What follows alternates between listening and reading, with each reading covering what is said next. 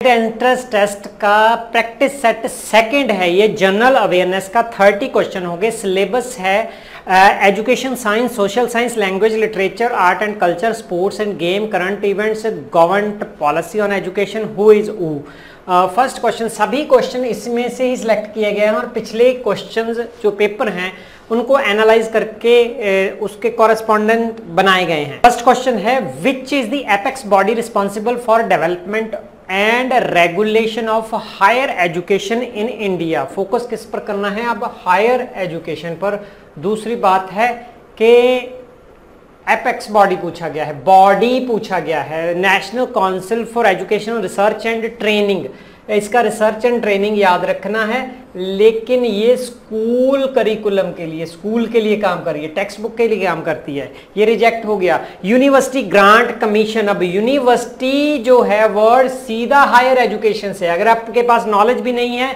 तो ये एसोसिएशन ढूंढ ली और राइट right आंसर थोड़ा सा टिक कर लिया कि ये प्रोबेबिलिटी हो सकती है। लेकिन next Ministry of Human Resource and Development जब मिनिस्ट्री ऑफ़ एजुकेशन दिया गया है, अब मिनिस्ट्री ऑफ़ एजुकेशन हो चुका है। तो ये बॉडी नहीं है, इसलिए इसको रिजेक्ट कर दिया। National Council for Teacher Education अब ये देखिए टीचर एजुकेशन जैसे आपकी बीएड है, ये टीचर एजुकेशन है एमएड है टीचर एजुकेशन है D L Ed diploma in elementary teacher training और ये जो हो गया आपका, ये भी हायर एजुकेशन में है, लेकिन ये टीचर एजुकेशन में आ रहा है। तो एक ही सूटेबल आंसर यूजीसी बच रहा है राइट right आंसर उसको लगा दिया।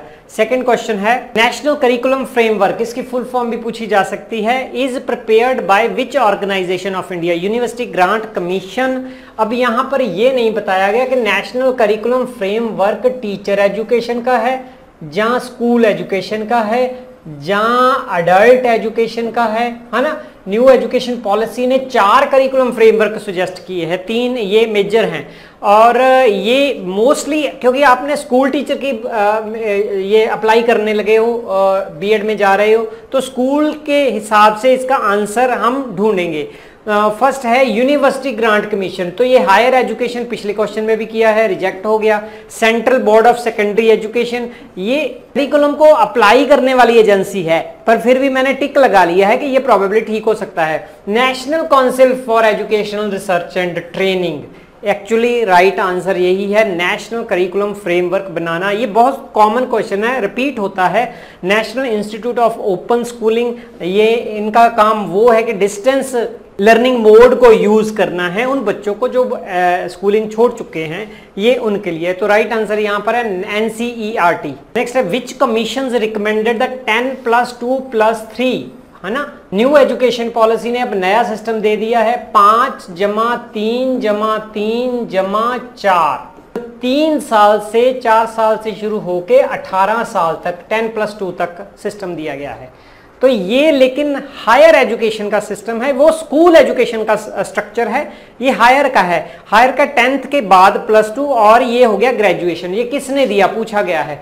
तो आपने ये टेन के वन को याद रखना है और कोठारी की आई को याद रखिए, इसको जोड़ लीजिए, कोठारी कमीशन इसका राइट आंसर है। कॉमन क्वेश्चन है, बहुत पूछा जाता है when did Lord Macaulay Lord Macaulay use किया जाता है? ज़्यादातर यहाँ पर Thomas Babington Macaulay present his minutes of Indian education mostly ये इंपॉर्टेंट नहीं है. Two two two one February और बारह जनवरी द मोस्ट इंपॉर्टेंट इसके कब पेश किया गया? थर्टी फाइव इसको याद रखने का तरीका, ये 18 डाला 18 बज के बारह के बाद, ये हो गया छह बज के ना? ये बगैर अठारह बज के पैंतीस मिनट पर मेकॉले साहब आ गए। अठारह बज के पैंतीस मिनट। ऐसे जोड़ लिया। ये इजी हो जाता है। But policy did Lord Macaulay advocate for educating Indians westernisation policy filtration policy और ये एंटलिस्ट पॉलिसी संस्कृताइजेशन ये सोशोलॉजी का कंसेप्ट है। जब लो कास्ट वाले जो है, वो हायर कास्ट का बिहेवियर और लाइफस्टाइल जो है कॉपी करते हैं। तो ऐसी कोई नहीं है। इसको सबसे पहले रिजेक्ट कर दिया।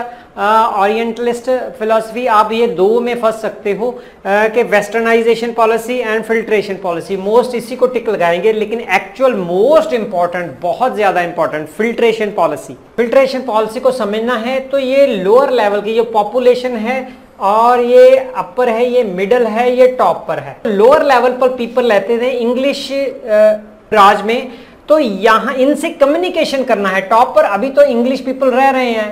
वो चाहते थे कि इनसे हमारा कम्युनिकेशन करना ज़रूरी है। जिन पर राज करना है, उन पर कम्युनिकेशन उनसे कम्युनिकेशन ज़रूरी है। तो उन्होंने एजुकेशन सिस्टम को यूज़ किया जो हायर और मिडिल वर्ग के कुछ सेलेक्टेड पीपल थे।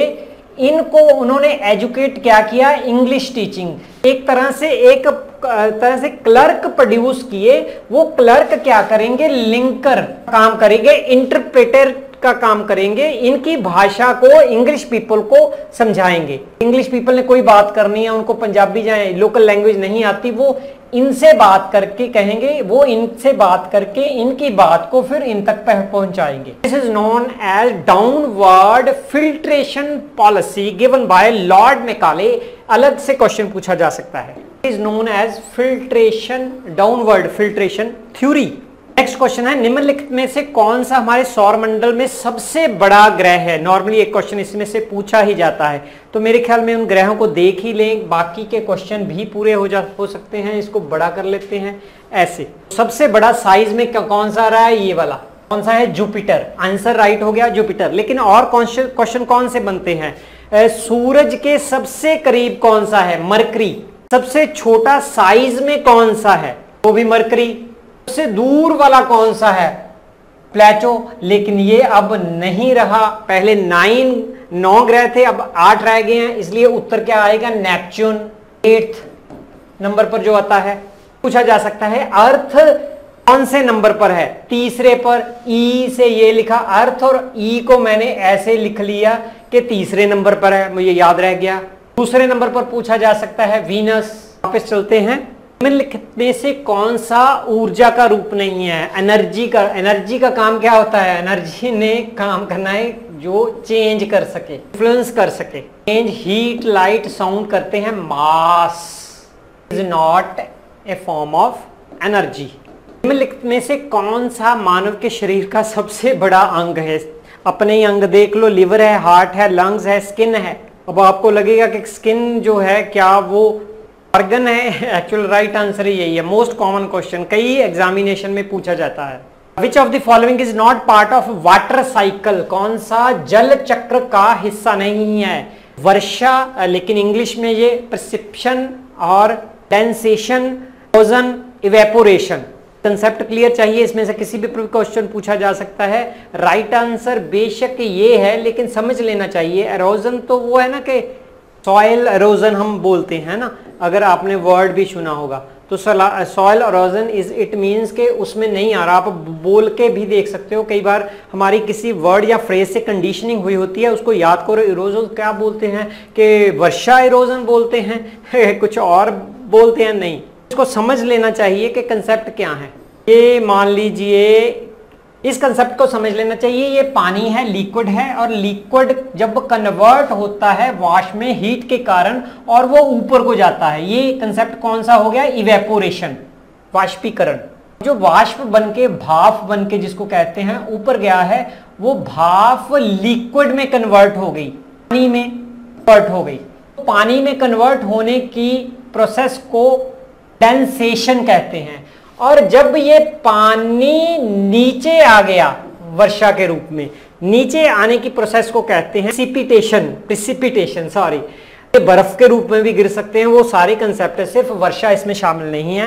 ये जल चक्र के कंसेप्ट हैं वो कंसेप्ट नहीं है इसमें, वो क्या है? Erosion which of the following responsible transmission of genetic information ख्याल में जब आप हेरिडिटी एनवायरमेंट बी एड में पढ़ोगे हेरिडिटी हेरिडिटी जहाँ भी हेरिडिटी आता है, वहाँ जीन्स आएँगे। जीन्स जो हैं कैरियर ऑफ़ ट्रेड्स जो आपके बाल कैसे होंगे, आँखों का रंग कैसा होगा स्किन का रंग कैसा होगा, है ना बेबी का तो जीन के ज़रिए हैं। और जीन में आगे क्या है? DNA answer is DNA history में से है which river separate the territory of Maharaja Ranjit Singh and Britishers किस नदी ने रंजीत सिंह और अंग्रेज़ों के क्षेत्र को अलग किया था? ब्यास, चिनाब, रावी, सतलुज। पंजाब इस तरफ़ है है ना? तो ये रहा सतलुज राइट आंसर महाराजा रंजीत सिंह ने ब्रिटिशर साम्राज्य के साथ सतलुज नदी पर अमृतसर की संधि पर हस्ताक्षर किए थे। सतलुज नदी महाराजा रंजीत सिंह के साम्राज्य और ब्रिटिश साम्राज्य के बीच में सीमा का काम करती थी। नेक्स्ट है which is the largest civilization in the world विश्व में सबसे बड़ी सभ्यता कौन सी है? दूर नहीं जाना, हिंदू और इंदू याद रखना है। Hindu, Indus valley civilization, Sindhu घाटी की सभ्यता। थ्योरी ये भी है कि सिंधु जो था, नाम ये कभी पंजाब का था और सिंध इससे, हमें सिंध देश कहा जाता था। सिंध से जब इंग्लिश लोग आए तो उनसे स का उच्चारण नहीं होता था। स का ह उच्चारण होता था। वो सिंध से हिंद बन गया। एक थ्योरी ये भी है, और हिंद से हिंदुस्तान बन गया। सिंधु घाटी की सभ्यता देखिए कितनी ज़्यादा, लाख साठ हज़ार वर्ग किलोमीटर में फैली हुई थी। दूसरे नंबर पर जो 8000 वर्ष पुरानी सभ्यता, हड़प्पा सभ्यता का नाम जाना जाता है। क्वेश्चन है in which of the following year Akbar banned slavery Akbar को इसलिए अच्छा राजा बोला जाता है। तो उन्होंने गुलामी की प्रथा पर प्रतिबंध कब लगाया? मैंने कैसे याद रखा? मैंने बैन स्लेवरी का बी का, इसको सिक्स के साथ जोड़ लिया। बिल्कुल ये छ बनता है। स्लेवरी का एस उठा लिया, ये कहा कि बिल्कुल दो लगता है 62 में। पर का 15 तो याद होगा।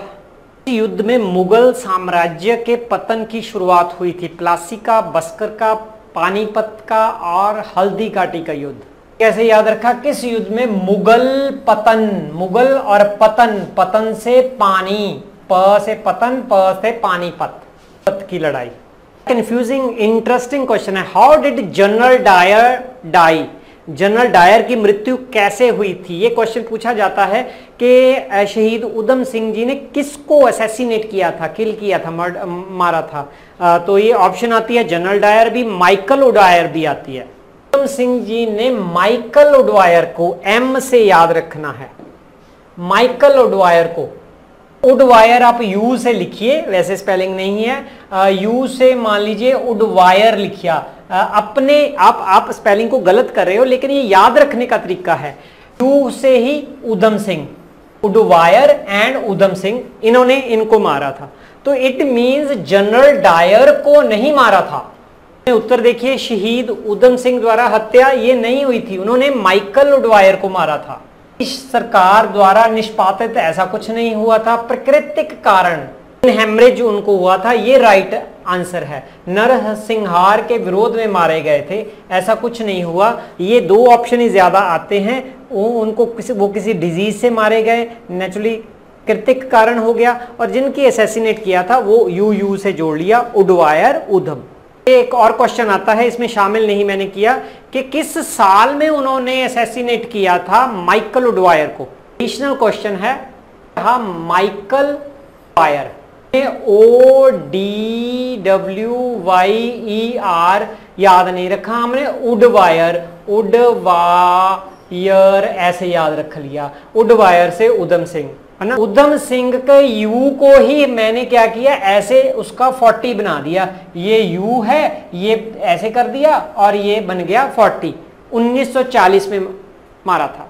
आपका सबसे छोटा जिला कौन सा है? वेरी इंटरेस्टिंग क्वेश्चन लुधियाना है? नहीं, ये रिजेक्ट हो रहा है, क्योंकि लुधियाना तो यार बड़ों में आ रहा है मोस्ट डेंस वगैरह। एक आप मुझे कमेंट करना, मैं पंजाब के जो पॉपुलेशन किसमें ज़्यादा लिटरेसी किसमें ज़्यादा है, बड़ा कौन सा है, छोटा कौन सा है, ऐसे बड़े क्वेश्चन आते ही हैं, एक दो क्वेश्चन आते हैं। तो वो कमेंट डाल के याद करवा देना। मैं इसी पर एक वीडियो बना दूँगा। तो लुधियाना बड़ों में से आ रहा है, अमृतसर बड़ों में से आ रहा है। अब कपूरथला बच रहा है, पठानकोट बच रहा है।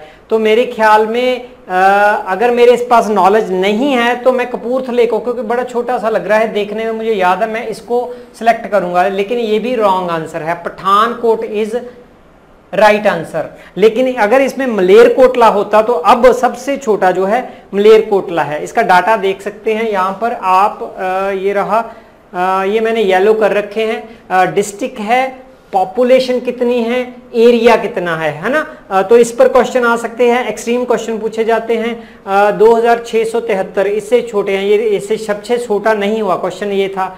अब सबसे ऑप्शन हमारे कपूरथला है। सोलह सौ किलोमीटर एरिया है। लुधियाना तीन हज़ार सात सौ ये सबसे बड़ा आ गया, लुधियाना सबसे बड़ा। और ये मलेरकोटला आठ सौ सैंतीस नया डिस्ट्रिक्ट बना है। और ये हमारी ऑप्शन में क्या है? पठानकोट, नौ सौ उनतीस। तो ये डाटा है। अगर मलेरकोटला नहीं है तो पठानकोट को आप चूज़ करते हो और बड़े में से लुधियाना को। राज्य को भारत का धान का कटोरा कहा जाता है, पंजाब को तो नहीं, यहाँ तो रौला पड़ता है भाई। ये धान के लिए नहीं बनी है ना? राइस बाउल ऑफ़ इंडिया किसको बोला जाता है? आ, अब हरियाणा बिहार आंध्र प्रदेश हो सकता है। मैंने या, याद कैसे रखा? आंध्रा से याद रखा। आंध्रा के आंध्रा पूरा लिख के और आर से राइस लिख लिया। कई तरीके हैं। अंधे ने कटोरा पकड़ा हुआ है राइस का। याद हो गया? जाता है क्योंकि 77 परसेंट इसकी टोटल जो फ़सल है, उसमें से 77 परसेंट जो है धान ही होती है। में सबसे बड़ी मीठे पानी की झील कौन सी है? Which of the largest fresh water lake in India नाड झील, वुलर झील, ढल झील, चिल्का झील। याद रखा बड़ी झील बड़ी बय, इसकी, इसको जोड़ दिया बड़ी और वुलर, इसको जोड़ दिया। वुलर बहुत बड़ी है। क्वेश्चन इसमें पूछे जा सकते हैं। तो जम्मू और कश्मीर में वुलर झील भारत की सबसे बड़ी मीठे पानी की झील है। जम्मू कहाँ है ये? जम्मू और कश्मीर यहाँ भारत में अन्य मीठे पानी की झीलें मणिपुर में ओक्टक झील और मेघालय में बारा पानी की झील शामिल है। ये क्वेश्चन भी पूछे जा सकते हैं। क्वेश्चन है which of the following step that central bank central bank के काम है कुछ वो टूल यूज़ करती है इसको नीला कर लेते हैं यहाँ पर आ, ये हुआ will take to encourage greater investment in economy it will look to increase the cash reserve ratio it will look to reduce the cash reserve ratio it will look to increase the bank rate it will look to sell government securities in the open market तो ये सबसे वैसे अजीब लगता है, इस पर question mark लगाएँगे। वैसे आपको नुक्ता बता रहा हूँ, जब भी किसी क्वेश्चन में दो ओपोजिट ऑप्शन है तो राइट right आंसर उस दो ओपोजिट ऑप्शन में ही होता है। यहाँ पर ओपोजिट ऑप्शन साफ़ दिखाई दे रही है। It will look to increase cash reserve ratio ये है इंक्रीज कैश रिज़र्व रेशो और ये है रिड्यूस कैश रिज़र्व रेशो है ना? तो ये रिड्यू इंक्रीज की बात है, लेकिन ये बैंक रेट है। दैट इज़ वाई ये दोनों ओपोजिट हैं एक दूसरे के लिए ए और बी ए और बी में ही राइट आंसर है। यहाँ तक जैसे कौन बनेगा करोड़पति में 50 परसेंट चांसेस है ना, निकल जाते हैं तो ये अब आप तुक्का भी लगा सकते हो। राइट आंसर वैसे है भारतीय बैंक नोटों के एक तरफ़ अंग्रेज़ी और हिंदी के अलावा कितनी भाषाएँ लिखी हुई हैं? अच्छी तरह से स्टेटमेंट को पढ़ना है। क्योंकि ये आपको गड़बड़ कर सकती है। मोस्टली लैंग्वेज अगर सतारह ऑप्शन है, बिल्कुल जल्दी जल्दी इसको क्लिक कर देते हैं हम। लेकिन उन्होंने पूछा है कि वन साइड में इंग्लिश और हिंदी है, बाकी टोटल कितनी है? तो अगर सतारह है, बाकी दो निकल गई तो पंद्रह बची।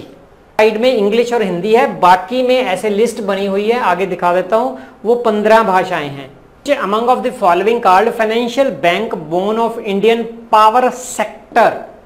Number uh, A है power grid corporation India limited power finance corporation Damodar valley corporation Satluj Jal Vidyut Nigam limited कुछ नहीं है पावर ये मिल रहा है पावर ये मिल रहा है पावर ग्रिड है और ये पावर फाइनेंस है और ये फाइनेंशियल भी है और ये पावर भी पूछा गया है तो सीधा तुक्का और राइट आंसर सच में यही है। First Indian women to win Olympic medal कौन सी हैं? First first Indian women to win Olympic medal Pal PT Usha Geeta Maheshwari pick medal first हाँ एम एम महेश्वरी ऐसे जोड़ लिया। दूसरा कंफ्यूज होते हैं तो women Maheshwari women is Karnam Maheshwari. Team won IPL 23 Chennai super king, Gujarat titan, Indians, Kolkata knight riders. Super kings. IPL पर mostly एक क्वेश्चन आता ही है।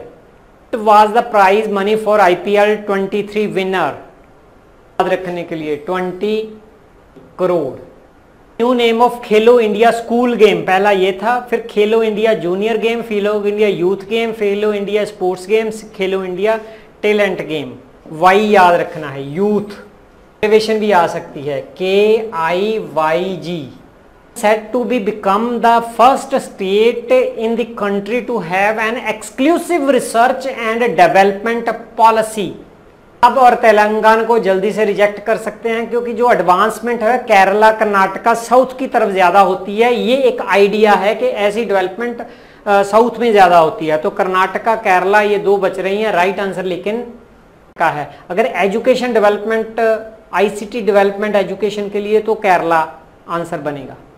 क्वेश्चन भारत का पहला ई कचरा इको पार्क किस राज्य या केंद्र शासित प्रदेश में विकसित किया जाएगा। हाँ कर्नाटका में, आंध्रा में, केरला में हाँ ये केरला ने बहुत जो सस्टेनेबल डेवलपमेंट में पहले रैंक पर जो के बेस पर आया है, केरला है। लेकिन यहाँ पर राइट आंसर है न्यू दिल्ली क्योंकि पोल्यूशन कितना है, कितनी खबरों में ये रहता है कि दिल्ली में जब पराली पंजाब में जलाई जाती है तो डिस्टर्ब जो है दिल्ली होता है। और पोल्यूशन को कंट्रोल करने के लिए इतने एफर्ट किए गए। How many M L As were inducted into Punjab cabinet during the expansion on May thirty first two thousand twenty three अभी अभी जो किए गए ना एक्सटेंड तीन जो मंत्री थे, उनकी जगह पर दो कैबिनेट मंत्री नए रखे गए हैं। तो right answer is two cabinet मंत्री रखे गए हैं। अच्छा इस पर क्वेश्चन आए, पूछे जा सकते हैं। वो दो नए मंत्री कौन से हैं? एक तो बलकार सिंह है, जो करतारपुर जलंधर से एमएलए हैं। दूसरे हैं Gurmeet Singh, MLA Lambi assembly constituent Muktsar Sahib से। तो ये दो कैबिनेट मंत्री हैं। ये पूछा जा सकता है, बलकार सिंह कहाँ से है? करतार, बलकार, करतार, ये मिल गया इजी हो गया। बलकार, करतार, खुडियाँ, ऐसे जोड़ लिया नहीं करना लर्निंग में। आपका मेमोरी लोड कम हो जाएगा। एज पर new education policy 2020 students progress card will be redesigned in which of the following format 360 degree progress card comprehensive progress card holistic progress card integrator progress card option बहुत अच्छी हैं, ये repeated question है, कई exam में आ चुका है। यहाँ पर ये टर्म नहीं भूलनी कि 360 क्या होता है। 360 डिग्री प्रोग्रेस कार्ड तो ये स्टूडेंट है और स्टूडेंट के ऊपर जो क्या है टीचर है, साथ में उसका पियर है है ना? पेरेंट्स हैं टीच करने वाले अदर टीचर्स हैं, जो इनके कोलीग हैं हेड है। हेड को ऊपर लिखना है, ज़रूरी नहीं है, इसलिए बनाया कि तो ये देखिए, इस बच्चे के बारे में सिर्फ़ अब टीचर डिसाइड नहीं करेगा। अच्छा सेल्फ भी है, ये खुद भी है। यहाँ रखिया सेल्फ ये सभी इसको असेस इवेलुएट करेंगे। ये अपने आप को भी करेगा, इनके दोस्त भी करेंगे पेरेंट्स भी करेंगे सेल्फ भी करेगा हेड भी करेगा टीचर भी करेगा। तो ये सभी क्या देंगे? फीडबैक देंगे बच्चे के बारे में। जो फीडबैक है मोस्ट बन जाएगी। तो दैट इज़ वाई इसको 360 डिग्री कार्ड वर्तमान राज्यपाल कौन से हैं? अमरिंदर सिंह जी नहीं है, शिवराज विश्वविद्यालय नहीं है, Bhagat Singh, Lal Purohit is right answer Lal Purohit एक भारतीय नागरिक जो 29 अगस्त 2021 तक पंजाब और भारत के वर्तमान और उनतीसवें राज्यपाल है। ये क्वेश्चन पूछा जा सकता है। चंडीगढ़ और चंडीगढ़ के प्रशासक हैं। 2017 से 21 तक तमिलनाडु के पूर्व राज्यपाल और 2016 से 17 तक असम के राज्यपाल रहे हैं। वे भारतीय जनता पार्टी से के सदस्य हैं। जहाँ भी जिस स्टेट में बीजेपी की गवर्नमेंट नहीं है, वहाँ राज्यपाल बीजेपी का होगा। ये नॉर्मल नुकता है, अगर ऐसा कोई क्वेश्चन आता है।